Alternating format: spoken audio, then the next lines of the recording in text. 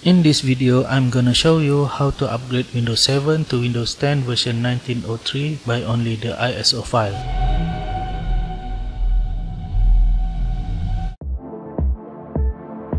What is going on guys? In the previous video, how to update to Windows 10 1903 by ISO file, there are a few questions that I hope will be answered in this video.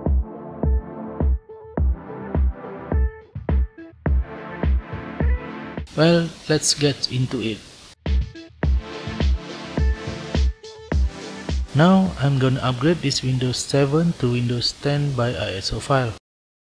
Unlike Windows 10, Windows 7 doesn't have built-in tool to mount ISO file. So in order to mount an ISO file, I will use a third-party software WinCDEMU Portable. First, run WinCDEMU as administrator.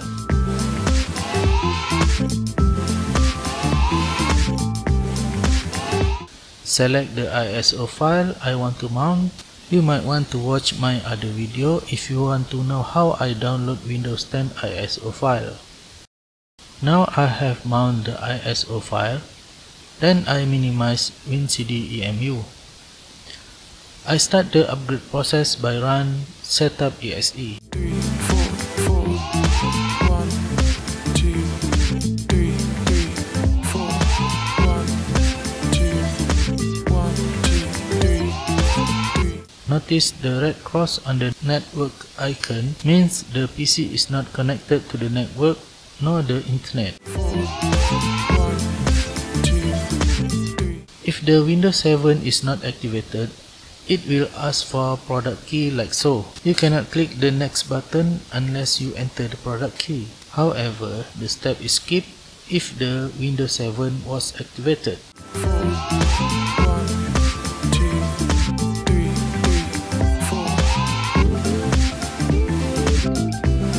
Windows setup needs about 20 gigs of space to do the upgrade.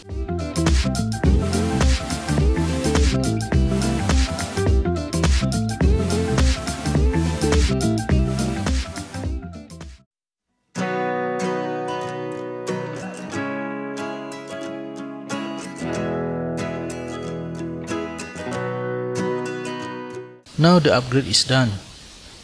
The Windows 7 is successfully upgraded to the latest Windows 10.